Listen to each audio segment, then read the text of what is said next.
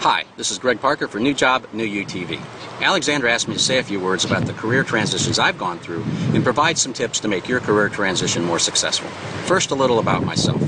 After graduating college with a computer science and mathematics degree, I entered the Navy and became a submarine officer and nuclear engineer. I served for three years on board the USS Chicago as the assistant nuclear engineer, and then two years on shore duty in Pensacola, Florida. Unfortunately, while I was on shore duty, I found that I had a hearing anomaly that would preclude further service in the Navy, so I had to undergo my first career transition.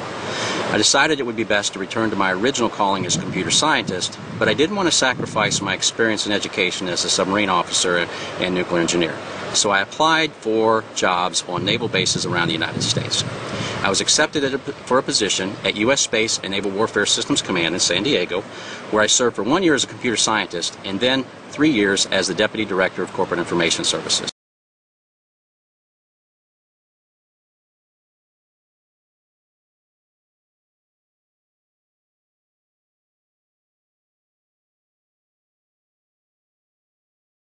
So in August of 2000, I entered law school to become a lawyer.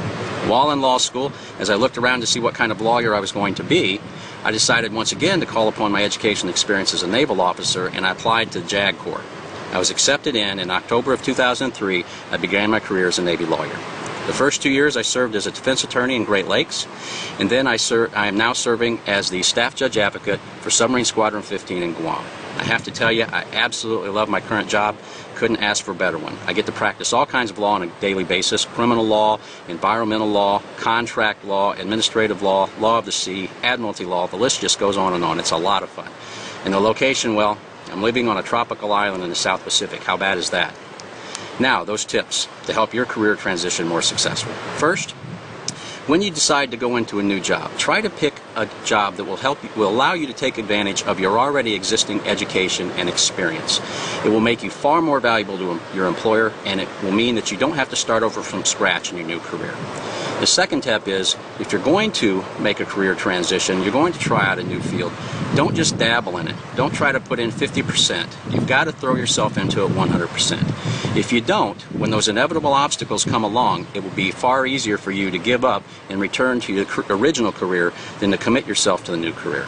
And the third tip I have is really more motivational advice. Don't think that it's too late to begin a new career. I remember telling Alexandra that I read a letter some time ago. It was to Dear Ann, or it was Ann Landers or Dear Abby. I can't remember which one. It was from a 47-year-old woman who said, Ann, I feel like I want to go back to medical school.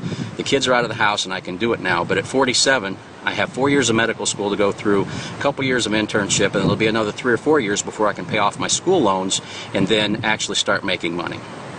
Ann's response was was perfect and very very simple. She said, "How old will you be in 10 years if you don't go back to medical school?" And the answer obviously is don't look at it as how old you're going to be. Look at it as what you're going to enjoy doing. If you're going to enjoy the new career, throw yourself behind it, and I promise you, you will be successful.